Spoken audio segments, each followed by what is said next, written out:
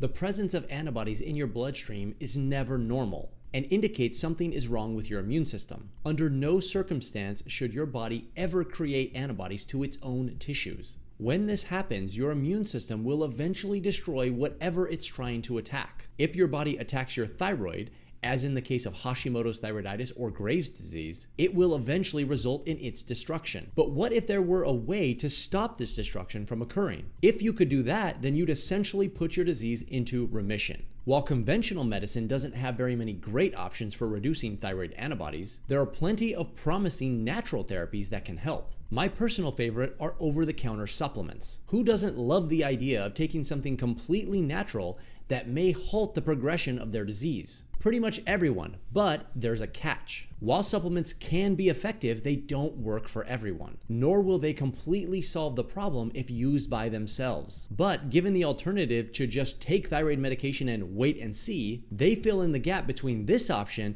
and what patients and people really want. Supplements that can help lower your thyroid antibodies fall into two major categories. Category number one are supplements that have been shown in clinical studies to reduce thyroid antibodies. These are pretty simple. They are supplements that have been tested in humans, usually in a placebo controlled environment, where researchers have given these supplements to a group of people over a period of time and have tested their antibodies both before and after the treatment. And the results of these studies have shown, after accounting for as many variables as possible, that certain supplements can indeed lower or reduce thyroid antibodies. And category number two are supplements that may help based on their known physiologic function and on anecdotal evidence. These are supplements that may work based on our understanding of how autoimmune diseases start and progress, and how the target nutrient or botanical may positively impact that process. Supplements in this category also have anecdotal evidence, which means that at some point,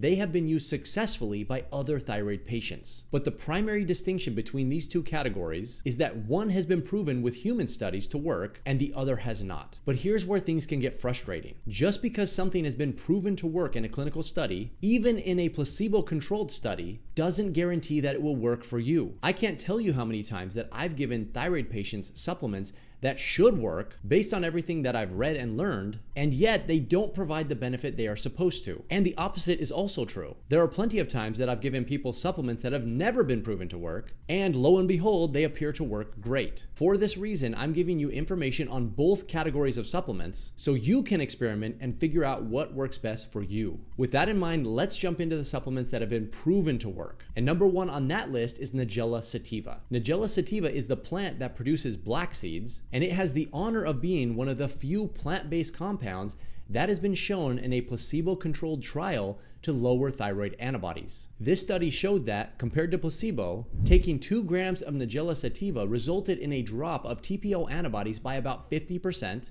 over the course of 8 weeks without any additional interventions aside from a stable dose of levothyroxine. Patients who took Nigella sativa over this 8-week time frame also saw improvements in their TSH and T3 levels. This indicates that this plant-based compound has both prothyroid and pro-immune benefits. This study used Nigella sativa powder at 2 grams per day, but you can probably also get similar or better results using either black seeds or black seed oil. As I've stated in previous videos, I think black seed oil is superior to Nigella sativa powder because it's easier to concentrate the dose and you can standardize the active ingredients. Number two is selenium. Selenium is definitely a no-brainer if you have any sort of autoimmune thyroid disease, both because of studies which support its use, as well as our understanding of how it works physiologically. Autoimmune thyroid diseases stem from thyroid gland inflammation and damage, which is often self-induced during the creation of thyroid hormones. Both selenium and glutathione help to protect the thyroid gland from oxidative stress by preventing damage from hydrogen peroxide. When selenium is low, your thyroid gland is more susceptible to damage. And if it ends up getting damaged, the proteins in your thyroid gland can spill into your bloodstream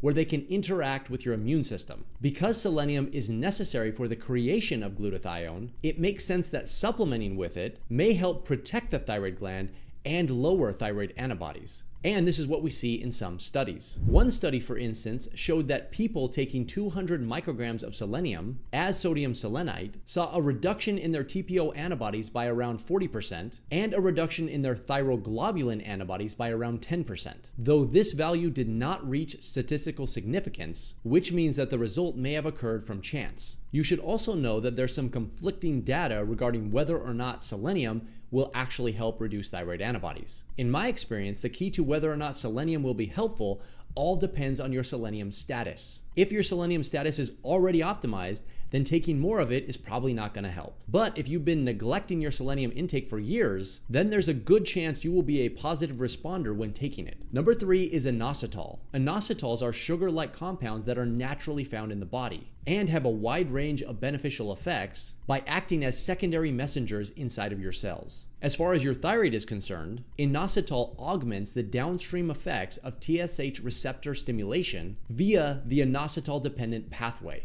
When activated, this pathway regulates the function of thyroglobulin, which is a protein used to create thyroid hormone. Not only does it have a direct effect on thyroid hormone, but also on thyroglobulin levels. And given that thyroglobulin is the target of thyroglobulin antibodies found commonly in both Hashimoto's and Graves', it makes sense that optimizing the function of this protein may benefit those with these conditions. This hypothesis has been borne out in some studies as well. One study showed that taking the combination of selenium and myo-inositol over the course of six months reduced TSH levels by 27%, TPO antibodies by 13%, and thyroglobulin antibodies by about 16%. Patients taking this combination of supplements also saw improvements in both their free T3 and free T4 levels over the same time period. Elevated thyroglobulin antibodies are not as common as elevated thyroid peroxidase antibodies, but if you have them, then using inositol to optimize the function of thyroglobulin should be considered. And number four, we have iodine reduction. I know putting this one here is technically a stretch, because we're not talking about taking a supplement, but instead not taking one. The reason this works is simple. Excess iodine intake has been shown in multiple studies to increase thyroid antibodies in susceptible people. Reducing your iodine intake to a normal level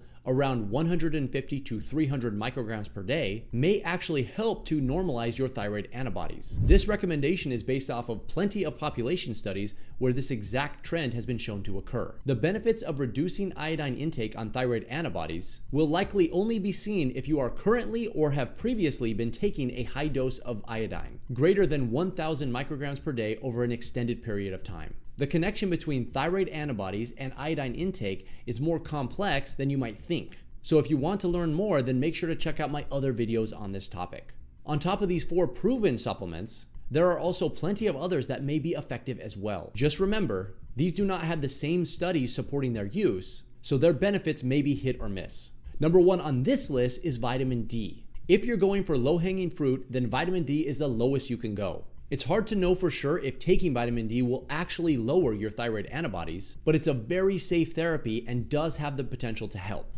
Physiologically, we know that on top of its role in regulating calcium, vitamin D also helps to stabilize the endocrine system and the immune system. In this way, it acts more like a hormone than a vitamin, which is why some people refer to it as hormone D instead of vitamin D. The problem with vitamin D supplementation is that you'll see mixed results. Some studies show that taking vitamin D in the setting of existing vitamin D deficiency may have a positive impact on thyroid antibodies, while other studies suggest that there's no benefit to the thyroid or the immune system when taking it. This is one of those that may appear to be complex, but it really isn't. Every single thyroid patient should have their vitamin D level checked, regardless of what type of thyroid condition they have, and it should be addressed if it's found to be low. This is because even if it doesn't provide direct benefits to your thyroid, which is debatable by the way because it still might, it still provides general benefits to your overall health, including your mood, calcium levels, autoimmune disease risk, and more. And if you want it to have even more benefits,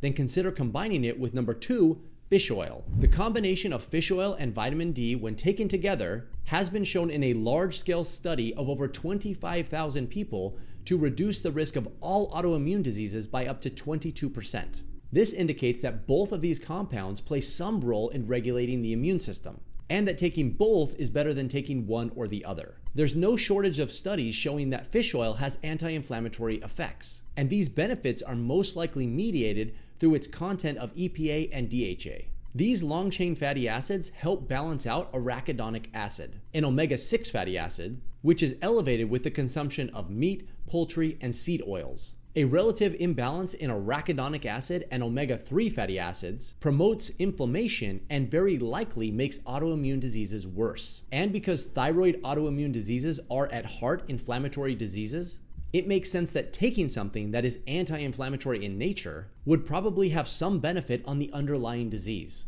While no studies prove that taking fish oil will reduce or lower thyroid antibodies, it seems plausible that they are at least beneficial given our understanding of how they work in the body.